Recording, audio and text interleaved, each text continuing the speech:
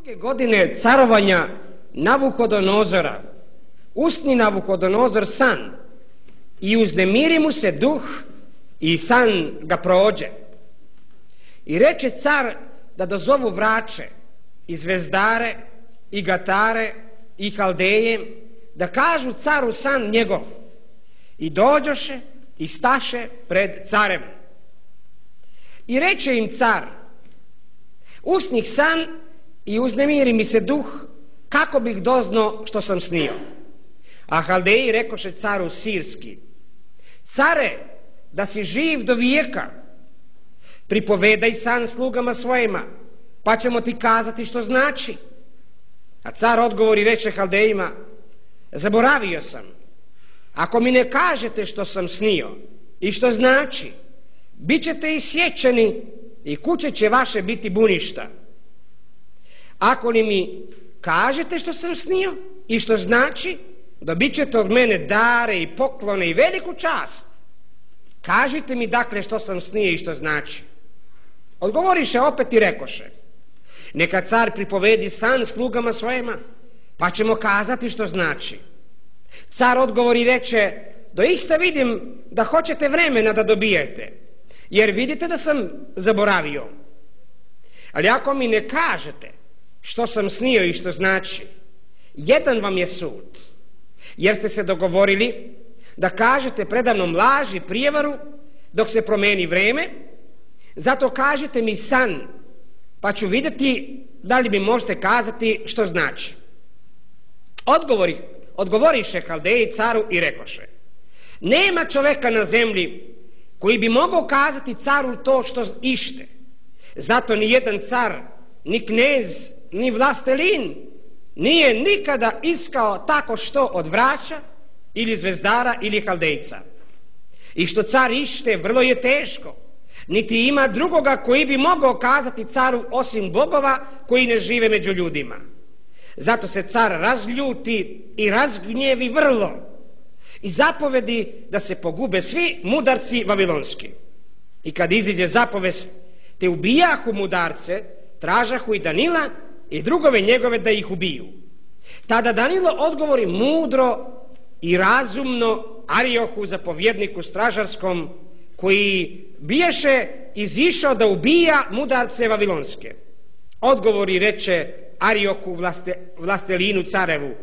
Zašto je tako nagla zapovest od cara? Tada Arioh kaza stvar Danilu. A Danilo otide i zamoli cara da mu ostavi vremena. Pa, ka, pa će kazati caru što sam znači.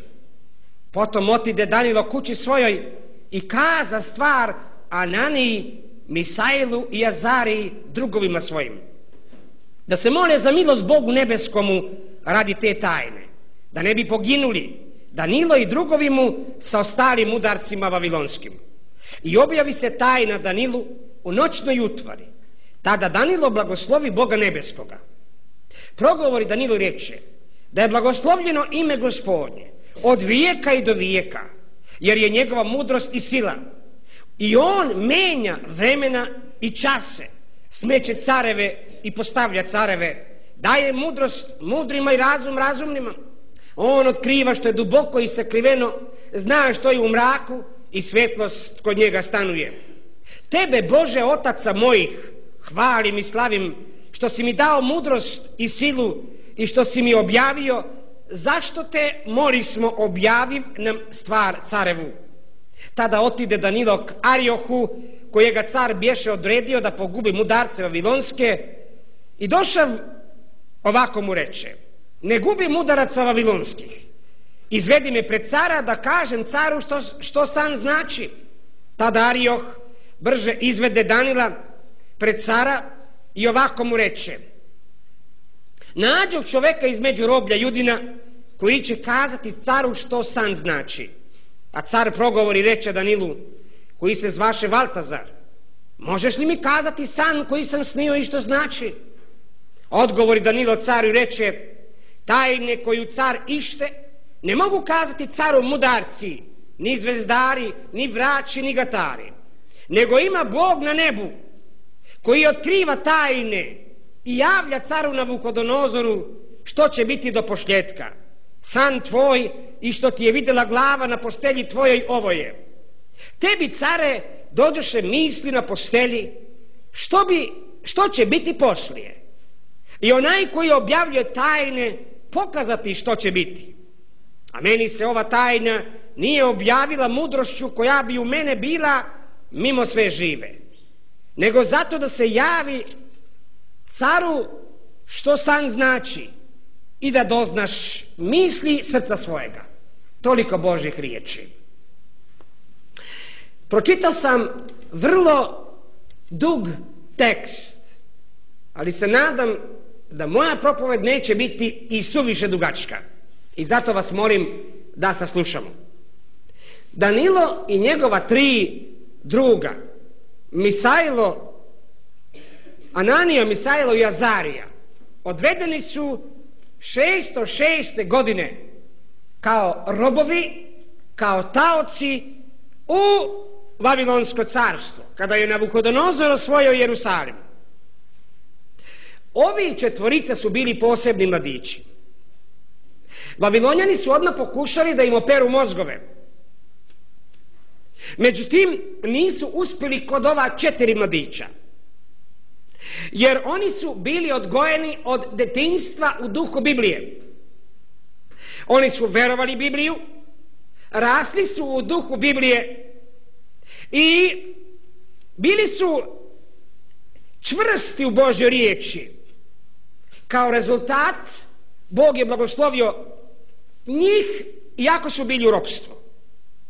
Pošto su završili svoje školovanje sa najboljim uspjehom, dobili su čast da budu pred carem da mu služe, da budu u carevom kabinetu, odnosno parlamentu. Ovakve karaktere, a naročito kao što je Danilo, Bog posebno blagosilja i koristi u ovom moćnom paganskom carstvu.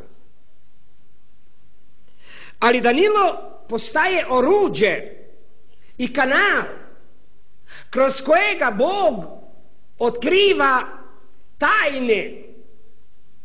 Bog kroz njega sada otkriva tajne, svoj plan za sve neznabožačke narode i za narod izraelski do kraja sveta da kada bude došao Isus Krist i bude postavio svoje slavno hiljadugodišnje carstvo na zemlji.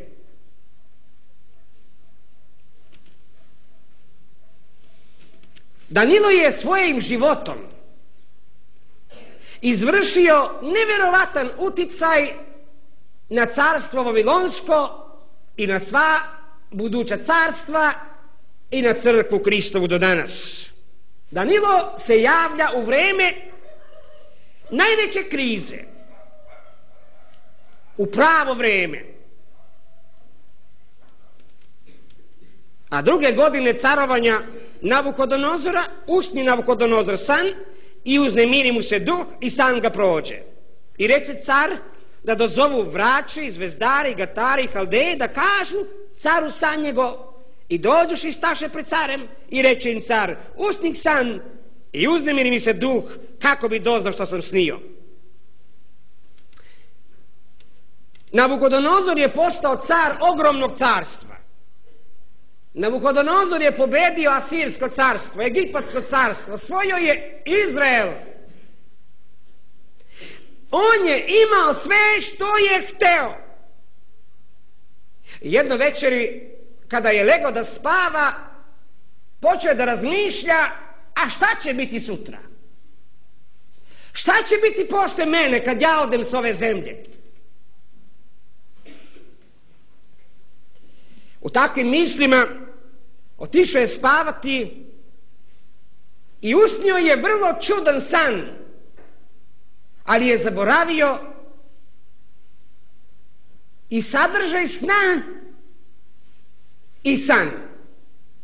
I sve što mu je ostalo od toga sna bila je uznemirenost i nesanica.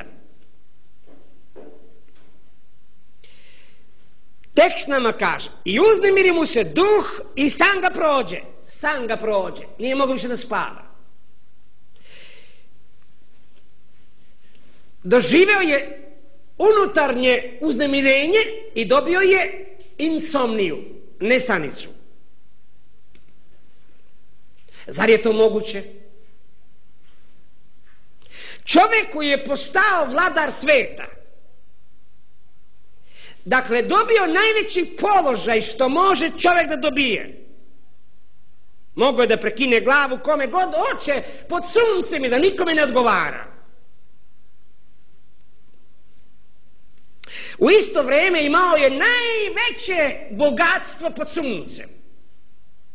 Jer Vavilonsko carstvo, mi ćemo da vidimo, to je bilo najkvalitetnije carstvo od svih carstava koja su iza njega slijedila i prije njega bila.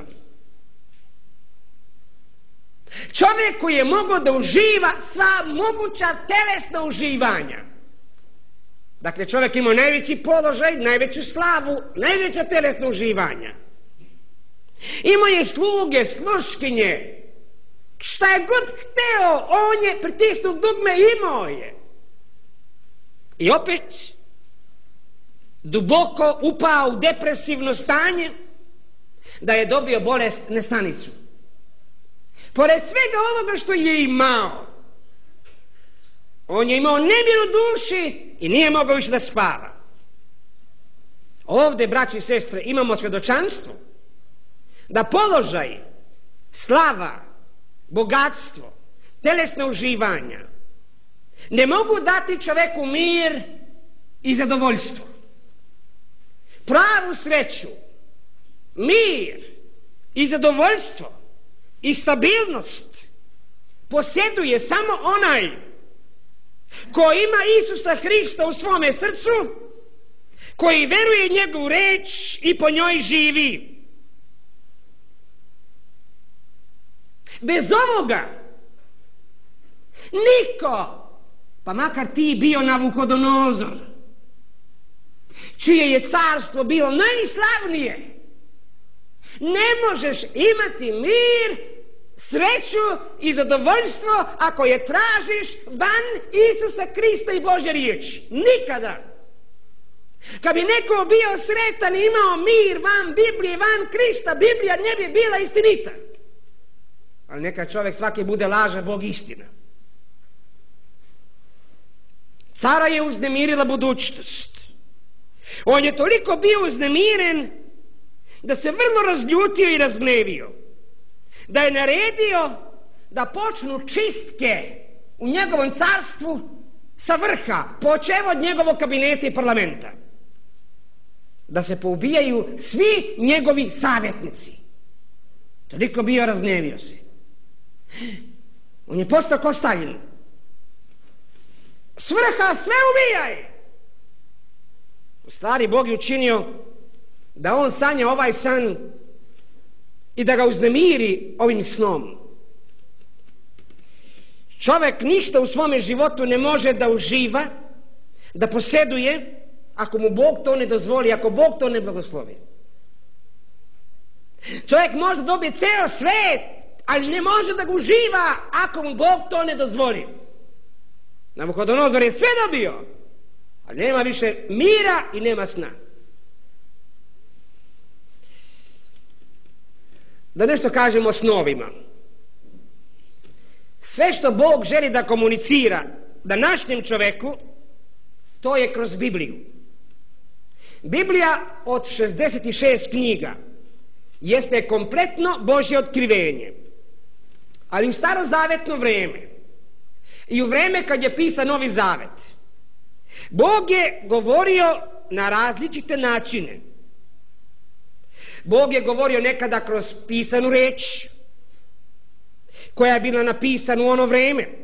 Danilo 9.2. Kroz govorenu reč Isaija 6, 8 do 10. Kroz nove 1. Mojsijeva 23 do 7. 4. Mojsijeva 12, 6. Danilo 2.1.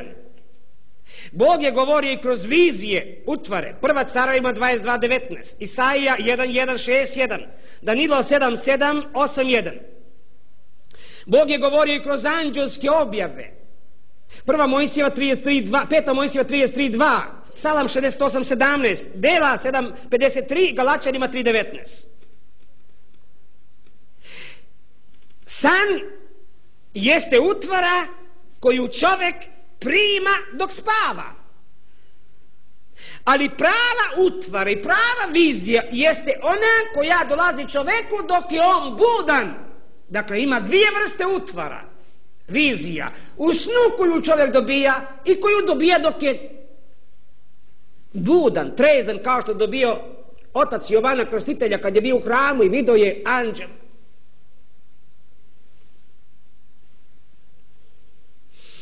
Apostol Juda za neke piše tako dakle i ovi što sanjajući tijelo pogane. To su ljudi koji su se predali mislima i delima da čine zlo. Ni u snu nisu čisti. Ja verujem da Bog može i da Bog to čini.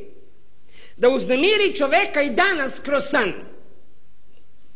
Ali Bog danas ništa od svoje normativne istine ne otkriva ljudima kroz snove.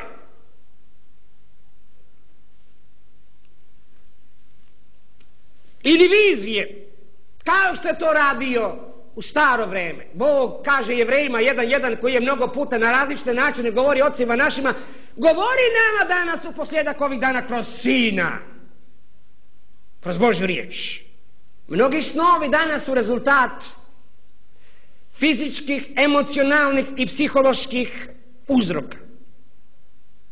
Nemoj niko da se vara danas kada, odide, kada otide da spava uveče da će mu sada Bog objaviti neku istinu kroz san. Bog otkriva svoju volju danas kroz Bibliju. To su vizije kroz koje Bog danas govori. Ja vjerujem u vizije. Ali znate koje vizije? Kada ova riječ Božja koju ja čitam i propovedam bude prosvetljena duhom svetim i ja vidim sadržaj te istine i znam da je primenim za moje vreme i vidim da ona meni govori to je prava vizija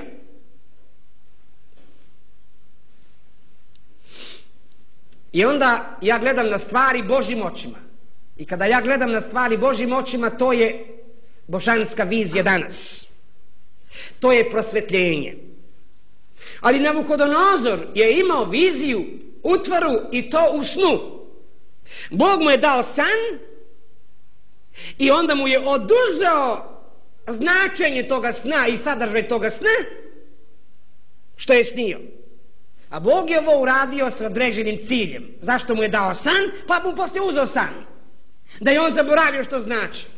Mi ćemo vidjeti zbog čega je to Bog tako uradio. Sve što je caru ostalo jeste strah i nesanica. I pošto nije mogao da spava više, car je odmah preduzeo akcije. I evo šta piše šta je uradio. I reče car da dozovu vraće, zvezdare, gatare, haldeje, da kažu caru san njegov. I dođoše i staše pred njim. On je pozvao pred sobom sada sav mozak njegovog carstva. On traži od njih odgovor. I vrlo je interesantno da usput spomenem da sada Bog pokazuje svoju volju preko jednog paganskog cara i to nam svedoči koliko je izraelski narod pao u grijeh u to vrijeme da je Bog prešao njih i sada javlja svoju volju preko jednog paganskog cara. Pred Bogom su sada Izraelci bili jednaki pagancima. Bog za neko vrijeme ostavlja Izrael. I ovo se odmah događa posle prve godine, odnosno posle školovanja Danila, odmah ovaj san. I car je pozvao ovdje četiri grupe iz svojega najmudrije ljude. Prvo kaže vraće. Ko se podrazumeva pod vraće? Danas možda taj termin eh, kod nas eh, izgubio je onaj pravi značaj. Ali u Vavilonsko carstvo vraći to su bili književnici i pisci onoga vremena. Oni koji su pisali hieroglife. Oni su bili vrlo školovani. Oni su pogađali ljudima budućnost. I sve su to pisali u svoje knjige. To se zvalo haldejske misterije. To su sve pisali i čuvali u knjige, u tim hieroglifima. I znate, nije bilo lako pročitati. Znaš kad neki vrač uzme da ti, da ti vraća, on uzme uvijek neki jezik kojega ti nemaš pojma. Neki arapski jezik, neke, neke cifre, neke hieroglife. Tako su oni imali. I to su bili pismeni ljudi. Njih je pozvao car na prvom mjestu da mu odgonetnu tajnu. A onda kaže nam drugo, pozvao je zvezdare. To su astrolozi. To su isto što i danas čitate u novinama horoskopi. Horoskop ništa nije novo, to je još bilo vreme Babilona. To su ljudi koji tumače sudbinu čoveka. Ono što kažu, pod kojom si se zvezdom rodio.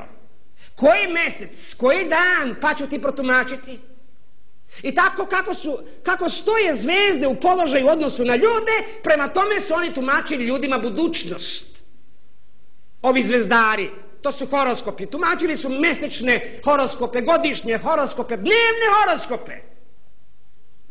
Danas ima oko 6 miliona Amerikanaca koji na posao neće da ide ujutru ako prvo ne savjetuje se sa horoskopom za dan. Dakle, ništa, ništa novo. Stara stvar kao u vreme Babilona. Zvezdari, to je horoskop. I ono vrijeme car jedan nije mogao da bude na prestolu bez horoskopa, bez zvezdara. Kaže nam tekst i gatari. Gatari su spiritisti, medijumi koji su govorili sa mrtvima. Oni su bili posebno na prestolu da zabavljaju goste kad su dolazili. To su bili imazioničari i tako dalje. Činili su sve ove stvari pod uticaj demonizma. I onda nam kaže na kraju četvrta grupa, to su bili haldejci. Haldejci su bili sveštenička kasta Vavilona. Oni su poreklom iz južne Vavilonije. Oni su bili vodeći ljudi ovdje na dvoru faraonovom. Jer vidimo ovdje u tekstu da oni razgovaraju sa carem. To su bili mozak. To su bili najmudriji, najveći intelektualci carstva Haldejci. U 27. stihu ne zovu se Haldejci nego mudarci. Mudarci. Dakle, sinonim za Haldejca jeste mudac, mudrac. Oni su bili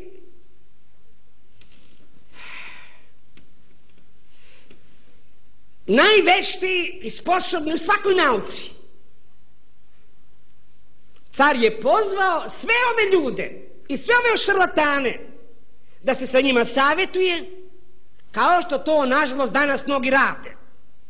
A to sve zato što ne poznaju živoga Boga i njegovu reč. Ovi su imali mnoge knjige u, kojima su i na temelju kojih knjiga su oni tumačili ljudima snove. Pitate se sigurno kako su oni mogli da tumače snove? Evo kako. Kod njih je bila već razvijena škola, sistem na temelju kojega su oni tumačili snove. Na primjer, jedan čovjek sanja san i oni zapišu taj san. I onda, onda prate njegov život. Kako se taj, taj san razvija u njegovom životu u praksi, oni to zabeleže. I svuda su tako beležili kad neko nešto sanji kako se njegov život završava. To sve pisali u knjige, debele knjige. I onda kada je neko budući sanjao neki san, onda su upoređivali njegov san sa ovim snovima što su sanjali prije njih i kako se njihov završio život i na temelju toga oni su onda tumačili snove budućnosti. Dakle, to je bilo vrlo jednostavno. I zato, zato su oni kad su došli kod cara tražili vremena da im da car vremena da bi mu protumačili san. Samo neka mu kažu. A vremena znači zato da bi mogli da pogledaju knjige jer su imali puno knjiga. I oni su trebali da, da čačkaju, da čitaju, trebalo im je vremena. Kao danas mnogi sudovi što imaju mnogo sudskih knjiga, pa gledaju kako su te probleme sudili ranije, pa na temelju njih sudi danas. Ista stvar tumačenje snova. Tu nema ništa nadprirodnog, to je sve trik, to je sve stvar a, eksperimenata. Ovakvih knjiga je bilo mnogo i arheologija je otkrila, danas postoje takve knjige kako su oni tumačili. I reče im car, usnih san i uznemiri mi se duh, kako bi doznao što sam snio? Ovo je sad problem kod ovih mudraca koji su tumačili snove. Oni nemaju od čega da počnu. Kada bi on rekao njima što je sanja, onda bi oni pogledali u knjige i onda bi mu tumačili snove. Ali ovako, pošto je on čak zaboravio, sad oni nemaju od čega da počnu. On je sadržaj zaboravio. A Hadej rekoše caru, sirski care, da si živ do vijeka. Pripovedaj sam slugama svojima, pa ćemo ti kazati što znači. Oni su uvek ovako pozdravljali careve. Care, živ da si! Znaš, živeo, to ti ista stvar, znaš. To je uvijek bilo i takav je način bio pozdravljeni. Car je da si živ, dugo živa car. To je prvi pozdrav, formalni pozdrav. I onda kažu, pripovedi san slugama svojima, pa ćemo ti kazati što znači. Oni su imali na umu knjige koje su trebali da čačkaju pa da tumače, da uporede pa da mu kažu. Mada to ovdje ne piše, ali to su oni hteli. I onda car daje jedan neočekivani zahtev. A car odgovori reče Haldejima. Zaboravio sam, ako mi ne kažete što sam snio i što znači, bit ćete isečeni i kuće će vaše biti buništa, peta vrsta. Šesta vrsta kaže, ako li mi kažete što sam snio i što znači dobit ćete od mene dare i pokloni velike časti, kažite mi dakle što sam snio i što znači. On je stvarno uznemiren. On im daje samo dve šanse. Ili smrt ako ne protumače, ili nagrada ako pogode. Oni su govorili stalno da su oni jako mudri, da su oni jako pametni, da oni imaju kontakte sa bogovima. To je bila njihova stalna izjava pred ljudima. Ali ih je ovdje Navukodonozor nadmudrio. U stvari nije Navukodonozor, nego je Bog učinio tako da Navukodonozor zaboravi san, tako da oni nemaju čega da počnu. Ali ako su oni imali kontakte sa bogovima, oni su mogli protumačiti šta je san sanjao i ako je on zaboravio.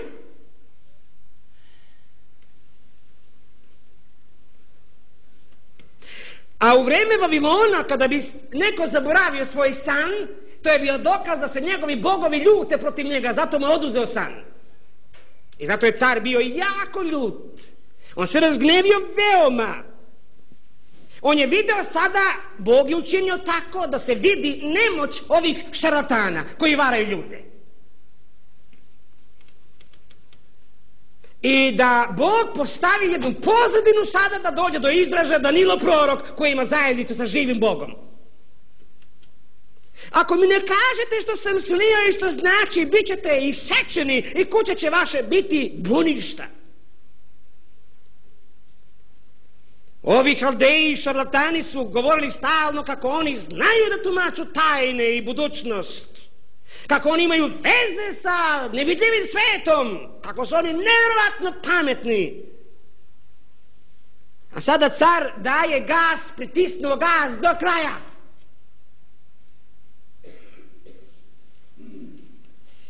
Kakav koljač može da postane i veliki čovjek kada je opterećen grijesima. On preti da će da ih pokolje, da ih seće na komade, njih, njihove žene, njihovu decu, kuće će da im spali, da napravi to gomilu pepela od njih. Ako mu pogode, on kaže, obećaje velike nagrade, dobit ćete od mene dare i poklone i velike časti. Ovdje spadaju kuće, ratnička kola, zlato, novci i položaj, čast. I sada vidite šta oni kažu njemu ponovo. Odgovoriše opet i rekoše. Neka car pripovedi san slugama svojima, pa ćemo kazati što znači. Oni nisu imali drugoga izbora. Oni ponavljaju svoj zahtev da bi car njima kazao što je sanjao da bi oni mogli na temelju knjiga da mu protumače. Drugo, drugog rezultata nemaju. Oni nisu poznavali pravoga Boga. Oni nisu imali kontakt sa živim Bogom. Sve što su oni pričali da imaju kontakte sa nevidljivim svetom i sa bogovima, to je bila laž. Oni su imali kontakte samo sa demonima, a demoni ne mogu da čitaju misli čoveka i zato su tu nemoćni. Demoni znaju samo da pročitaju kada ti nešto kažeš tvojim ustima, a dok čutiš, Sotona ne može tvoje misli da čita. I zato da, da je Sotona mogao da pročita misli, on bi upotrebio ove vraće da oni pročitaju misli njegove. Ljudi koji nemaju Bibliju, koji nemaju Isusa Krista u srcu, koji nemaju Svetoga Duha, oni su apsolutno bespomoćni. Njihovi trikovi u vraćanju, njihovi trikovi u, horos, u horoskopu i svim drugim magijama crnim jesu laži i demonske izmišljotine. Jer oni kažu sami da ništa ne mogu da pomognu caru ako car ne kaže san. A car odgovara. Car odgovori reče, doista vidim da hoćete vremena da dobijete jer vidite da sam zaboravio. Ali ako mi ne kažete što sam snio i što znači, jedan vam je sud. Jer ste se dogovorili da kažete predamnom laž i prijevaru da se promeni vreme, zato kažite mi san pa ću vidjeti da mi možete kazati što znači. Osmi stih prevodi hrvatski prevod mnogo jasnije, kaže ovako, a kralj, dobro ja znam da želite dobiti na vremenu, jer znate da je moja odluka neopoziva. Ne zaboravio sam, nego da je moja odluka neopoziva. Ja sam odlučio da vas uništim, ako mi ne kažete, a vi hoćete na vreme da dobijete, da, vam kažem ja šta znači, pa da gledate vaše knjige, pa da mi onda protumačite i da me prevarite, da me lažete. Sad ja vidim, kaže car. Moja odluka nema poziva. Ako ne znate, sud vam je jedan, bit ćete isčečeni i vaše kuće buništa. Ja znam što vi govorite da će to biti laž. Čekate da se ja okladim i stvar zaboravim. Car je znao i za neka njihova proročanstva iz prošlosti da se nisu ispunila. I sada jedinstvena prilika jeste da ih demaskira do kraja, da se vidi da su šarlatani. Car je sada razočaran u svoj sobstveni sistem. U svoj sobstveni parlament je razočaran.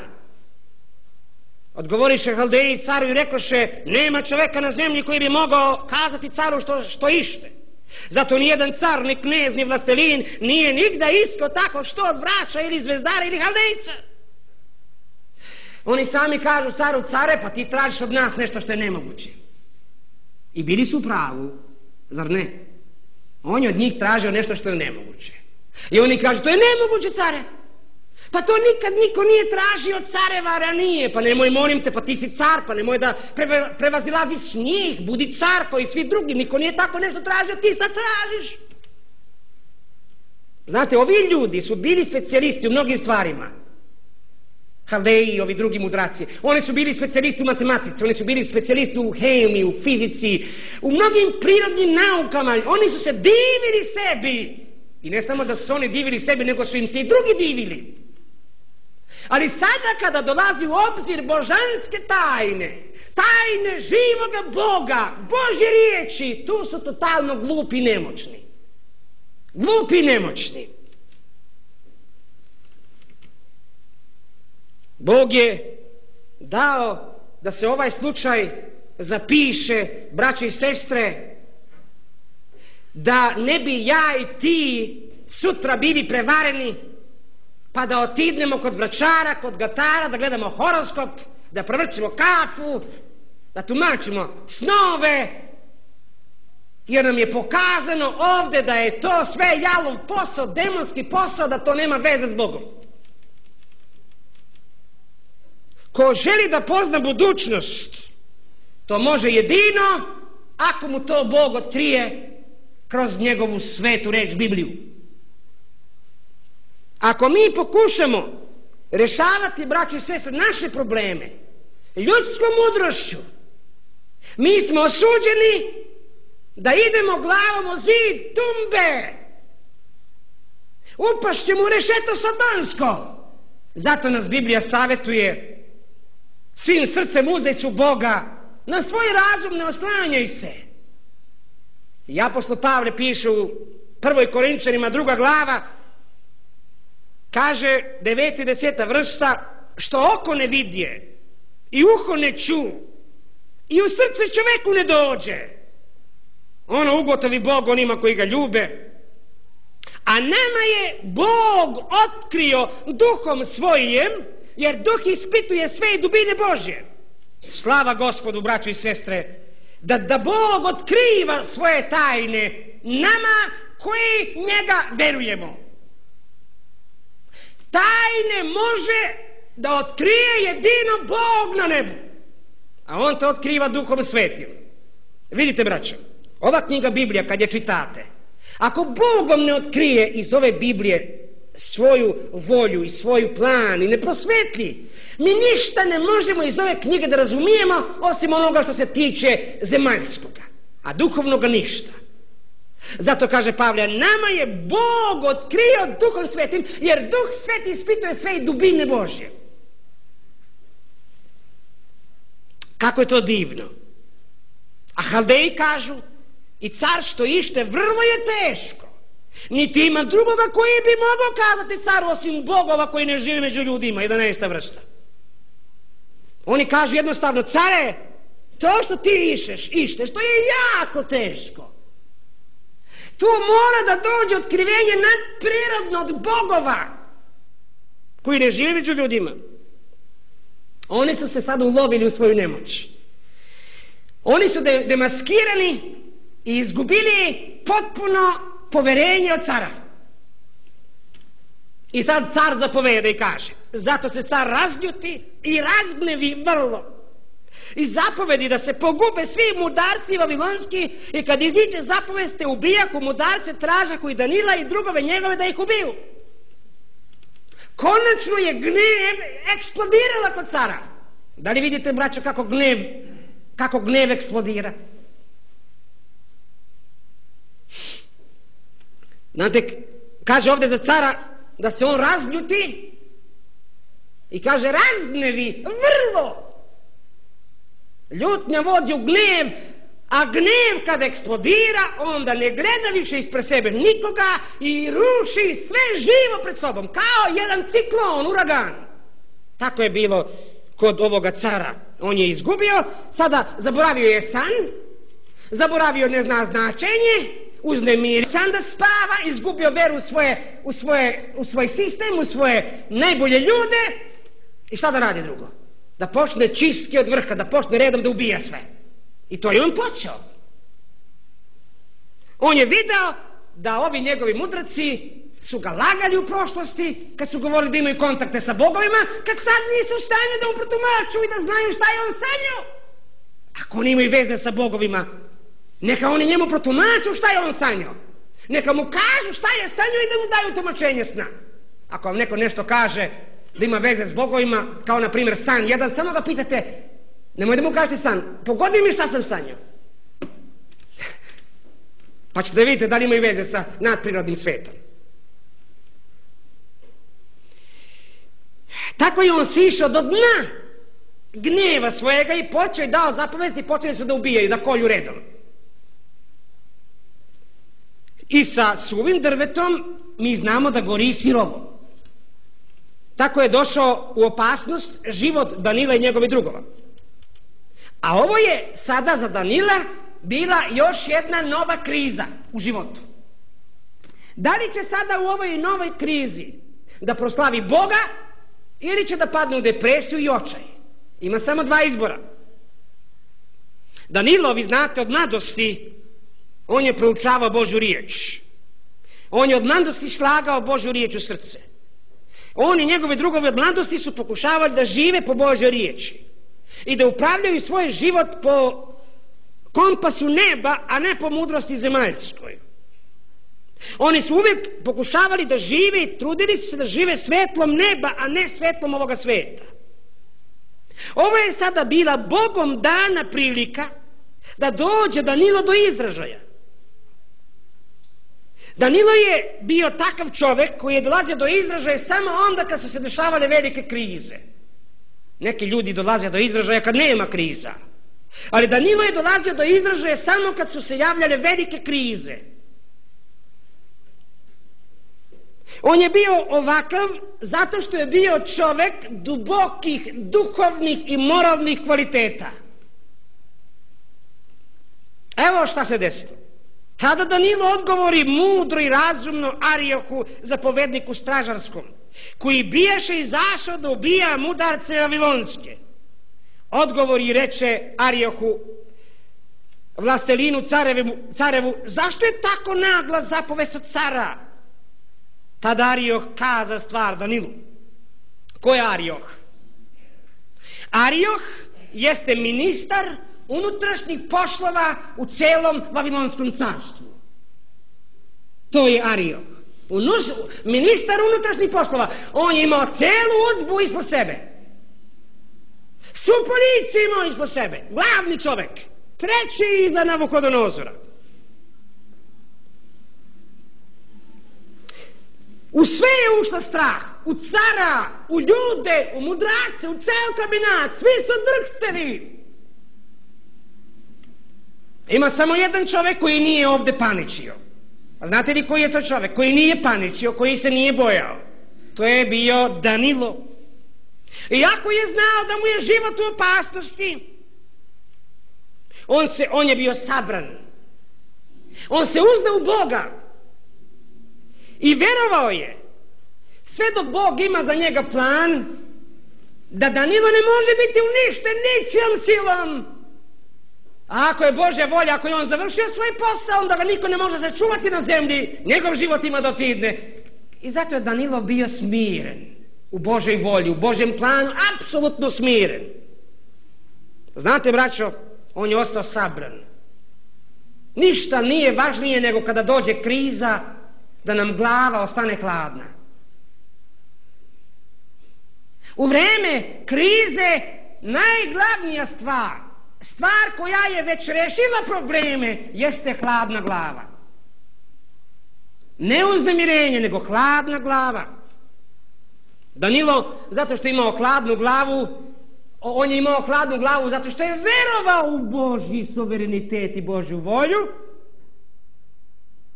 I on je gledao stvari Božjim očima. I on je znao da Božja riječ ima rešenje za svaki problem. On je to znao. Tada Danilo odgovori mudro i razumno. Sabrano, pa zato mudro. Smireno, pa zato mudro i razumno. Čovjek nikad ne može da govori mudro i razumno ako je upaljen, ako su njegovi osjećaj besni, ako je razgnevljen. Nikada ne može mudro i razumno da govori.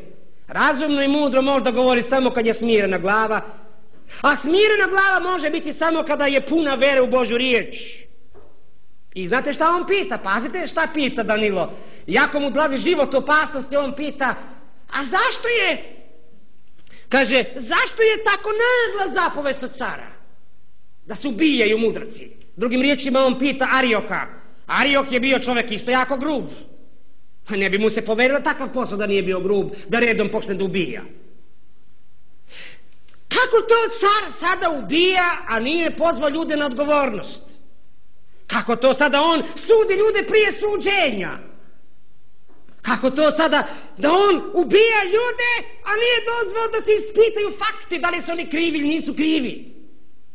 To je u stvari suština Danilovog pitanja. I Ariok, interesantno, on kaže Danilo, Danilo, sedni, molim te, sedni. Sedni da ti objasni stvar. I, i Danilo, i on sede i on objašnjava stvar Danilu. Zato piše mudro, jer je hladno Danilo. Danilo nije, nije paničio, nije pokazao strah pred ovim ministrom unutrašnjih poslova, jako je mogao glavu i išao od njega da uvati da ga zakolje. Danilo kaže, zašto tako? To nije ni pravnički, to nije ni ljudski, zašto se tako radi? Objasniti to meni. I on kaže, sedi Danilo ti objasnim. I, Danilo, I on objašnjava Danilu. Tada Ario kaza stvar Danilu. Interesantno, Danilo, ko je Danilo da mu o njemu objašnjava stvari? Ali, Danilo je bio takav čovek. Braćo, koristan čovek za Boga i za društvo jeste čovek koji ne paniči u vreme krize. Koji je sabran. A, a čovek koji ima efektivnu službu u društvu, ta ima krizu za krizom. Ako on paniči, kako može rešavati krize? Ne, čovek koji je na položaju kojega Bog hoće da iskoristi, taj mora da računa krize za krizom, ali on treba da bude hladan i pun vere da bi rešavao probleme na način božanski. A Danilo otide i zamoli cara, sad direktno Danilo ide kod cara, 16. vrsta, da mu ostavi vremena, pa će kazati caru što sam znači. Umjesto da ubije Danila i njegove drugove, Arioh sada dopušta da Danilo ima prijem kod cara. I sad ne zaboravite, braćo, Danilo je tek napunio 20 godina, nema više. Tek napunio 20 godina, kao Robert sad, završio vojsku. I car Navukodonozor razljutio se pobesneo. Zapovesti zašto? Ubija sve redom. Danilo, mladić od 20 godina, kaže, dozvoli mi da idem pred cara. I znate šta on traži od cara? Care, daj mi malo vremena. Nije li ovo hrabrost, braći i sestre? Nije li ovo veličanstvena hrabrost? Biblija kaže pravednici su hrabri kao lavići. Hrabar čovjek. Dolazi pred cara i traži baš ono što car nije dozvolio drugima. Drugi su tražili da im da vremena. Car nije dozvolio njima vremena kad je Danilo došao kao lav pred lava. I Navukodonozor je video da Danilo se ne boji od njega. Još je znao kad je bio na ispitu da je Danilo pametniji deset puta od drugih. Danilo kaže caru, care, daj mi vremena malo. Daj mi malo vremena. I car je vidio da u Danilu ima nešto čudesno. Nešto veličanstveno. Nešto što nema kod drugih. On je sam izgubio mir, nema više mira, raspalio se, nema više sigurnosti, nema vere, car. A Danilo smireno pred njime kaže, care, daj mi malo vremena. I to je zapanjio, to je, to je impresioniralo cara. Kada vidi mladića koji se njega ne boji.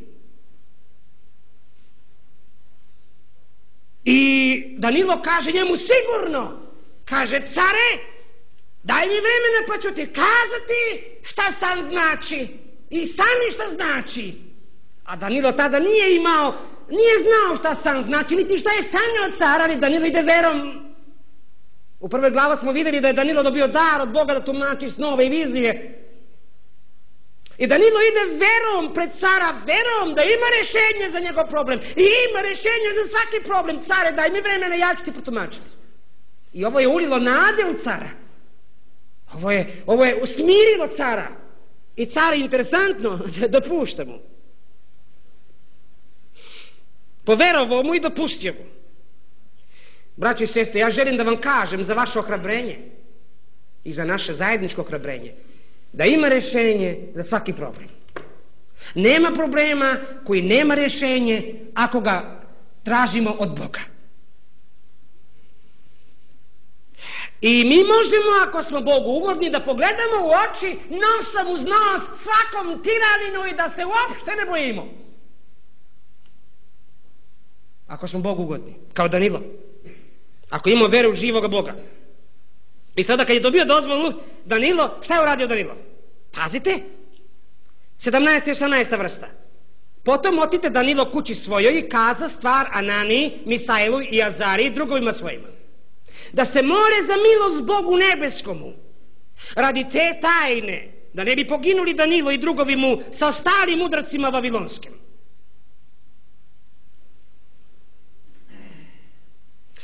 Kad se Danilo vratio kući kod svoje braće, da li je Danilo odmah uzeo vraćarske knjige pa da prevrće da vidi šta znači san carev? Da traži tajnu tamo? Ne. Danilo je odmah rekao braći svojoj Braćo, hajde na kolena. Da se molimo, braćo. O, kako su to divni drugovi. Nije li to divno, braćo i sestra, kad, kad, kad imate takve drugove? Kad imate drugove kod kojih možete da dođete i koji isto tako vjeruju kao ti, da se svi problemi rešavaju na molitvi na kolena. Drugovi vaši koji, sa kojima ne možete da padnete na kolena da se molite nisu vam pravi drugovi. Danilovi drugovi su bili drugovi koji su znali da rješavaju probleme na kolena, koji su znali da oni nemaju rješenje nego da Bog ima rješenje. Čovjek kojega Bog upotrebljava jeste čovjek koji veruje da on nema snage u sebi, da nema rješenja u njemu nego da ima rješenja kod Boga kroz molitvu. Molitva je odraz vere, molitva je odraz čovjekove nemoći, da Bog ima rješenje. Kako je Danilo prišao da, re, da reši krizu? Ovo nam je jako važno. Kako mi rješavamo krize naše? Da li tražimo od Boga pomoć? Da li molimo Boga za pomoć?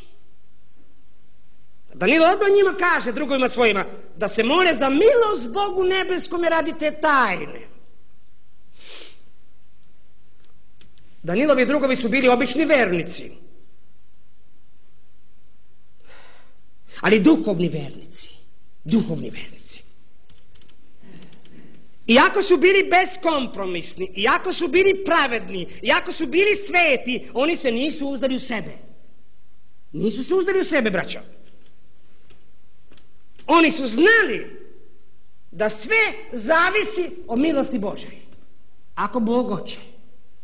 I oni nisu došli kod Boga pa da kažu Bože, evo mi smo bili beskompromisni, mi smo bili pravedni, mi smo tvoja deca, mi smo sveti, odgovori nam na ovu tajnu. Ne, nego kaže Bože milosti budi nama. Daj nam milost Bože da ne izginemo. Pokaži nam tajnu ovu Bože naš po tvoje velikoj milosti. Ljudi vere, to su ljudi koji veruju samo milost Božju i to su ljudi koji veruju u molitvu i obraćaju se u, u krizi Bogu. I sada vidite, oni su počeli da se mole na temelju, na principu onoga psalma 55.15 koji kaže prizovi me u nevolji svojoj i ja ću te izbaviti, a ti me proslavi. I oni su četvorici sad bili u velikoj nevolji, u velikoj krizi. I oni znaju da treba da prizovu Boga za pomoć. Mladi ljudi, 20 godina napunili. Kako je divno svesti ovakve ljude. Oni očekuju odgovor na molitvu jer su vjerovali u milost Božju. I Bog je nagradio njihovu veru i odgovara na njihovu molitvu. Dobijaju odgovor, otkrio je san Danilu. I zato sada Danilo i drugovi žele Bogu da zahvale. Evo što kaže. I objavi se tajna Danilu u noćnoj utvori. Tada Danilo blagoslovi Boga nebeskoga. Progovori Danilo i reče. Mladić od 20 godina ovako da se moli. To je veličanstveno. Da je blagosloveno ime gospodnje od vijeka do vijeka jer je njegova mudrost i sila Nikada Danilo nije bio zanešen i da ima iluzije u vezi svoje veličine. On nikada nije pomislio da je on nešto. On je znao da za sve pripada slava Bogu. I zato kaže da je blagosloveno ime gospodnje. Ime gospodnje u Bibliji to znači sve ono što Bog jeste. To znači ime gospodnje u Bibliji. U ime Oca, Sina i Svetoga Duha. U ime, jednina. Jedno je ime. To je trojedini Bog. Neka je blagoslovljeno ime Oca, Sina i Duha Svetoga. I svega onoga što Bog trojedini jeste i što radi. Neka je proslavljeno. Kada čovjek shvati milost Božju i blagodat Božju, u srcu takvoga čovjeka nikada ne može ponos da zavlada. Nikada. Kada čovjek pravidno shvati milost i blagodat Božju, taj nikad nema opasnosti da bude ponosan i da primi slavu sebi, a ne da da Bogu. Nije li to divno, braći i sestre? Da budemo sačuvani, da ne oduzmemo slavu Bogu, jer Bog slavu svoju ne da čoveku.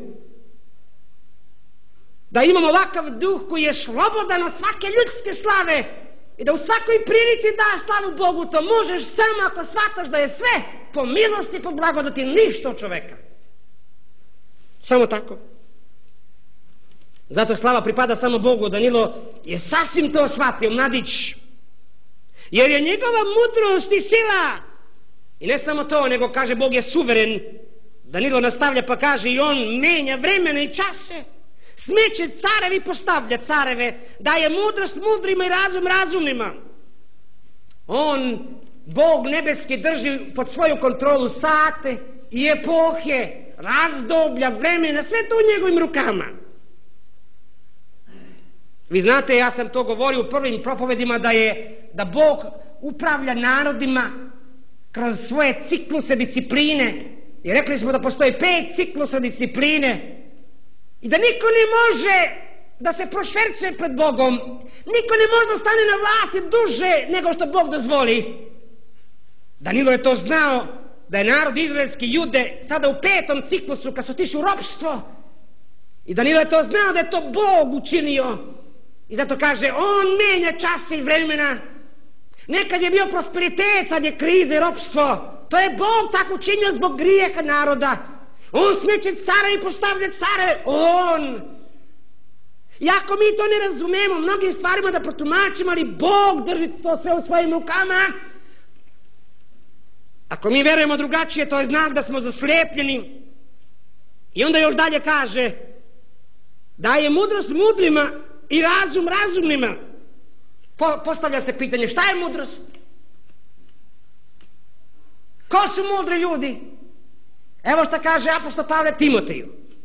Druga Timoteju 3.15. I budući da iz malena umiješ sveta pisma koja te mogu umudriti na spasenju Krista Isusa.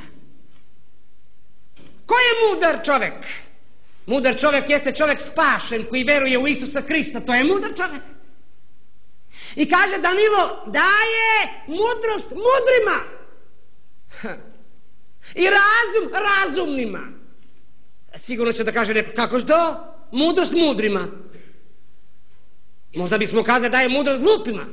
Ne, ne, nego mudrost mudrima.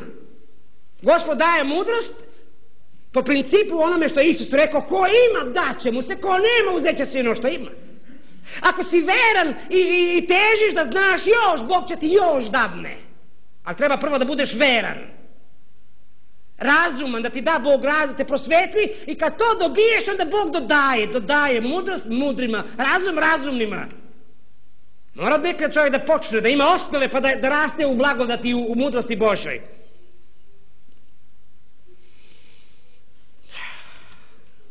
On otkriva što je duboko i sakriveno zna što je u mraku i svetlost kod njega stanuje. Drugim riječima, Bog je sve znajući, kaže Danilo. Ono što je bilo sakriveno kod ostalih mudraca, ono što je kod njih bilo u mraku, Kod Boga to nije u mraku, kod Boga to nije sakriveno, kod Boga nema ništa sakriveno, Bog unaprijed sve zna, Bog zna svaki korak svih naroda i careva koje će da uradi pojedinaca. Zašto zna? Jer kod njega svetlost stanuje. Kod njega nema mraka, kod njega nema neznanja, sve Bog zna, kaže Danilo prorok. I ako hoće neko da zna, ako hoće neko da bude mudar, neka išta od boca svetlosti, kod njega svetlost stanuje, on će da ti da svetlost. O, to je divno, to je divno. Tebe, Bože, Otaca, mojih hvalim i slavim što si mi dao mudrost i silu i što si mi objavio zašto te moli smo objavili nam stvar carevu. Bog je veran i Bog odgovara onima koji ga traže. Tada otide Danilo ka Arioku kojega car beše odredio da pogubi mudarce Vavilonske i došav ovako mu reče ne gubi mudaraca Vavilonskih izvedi me pred cara da kažem caru što sam znači Tada Arijok beš, brže izvede Danila pred cara i ovako mu reče nađu čoveka između roblja judina koji će kazati caru što sam znači. Danilo i Arijoh pred carem. Nabukodonozor je naredio ubijanje. A sada Danilo naređuje da bude prestanak ubijanja. Sada komanduje Danilo, ne više car Nabukodonozor. Car naređuje da se kolje Danilo naređuje da prestaje klanje. Danilo je imao saosećanje prema ljudima. Danilo je znao da ti ljudi nisu krivi, jako su pod demonskim silama, oni trebaju milost Božju. Oni su izgubljeni i treba iz toga da, da izađu i zato on kaže Ariohu, Arioh, izvedi me pred cara. I pazite sada kako se ponaša Arioh. Dobro pazite. Kaže ovako Arioh, došao pred Navukodonozora, njegov ministar unutrašnjih poslovi kaže Nađoh čoveka koji će kazati caru što sam znači. Pazite braćo, Arioh je bio čovjek broj tri u Vavilonskom carstvu. Milijone ljudi imao pod svoju kontrolu i vlast. Ali je bio jako bedan i nesretan. Arioh. Kako to znamo? Znamo. Iako je imao uzvišeni položaj, ministar unutrašnjih poslova, on traži još veći položaj. Po čemu znamo? Evo šta piše. Nađoh čoveka! Da li je on stvarno našao Danila?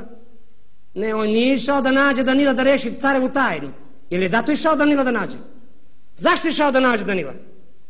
On je otišao da nađe Danila i drugove da ih ubije.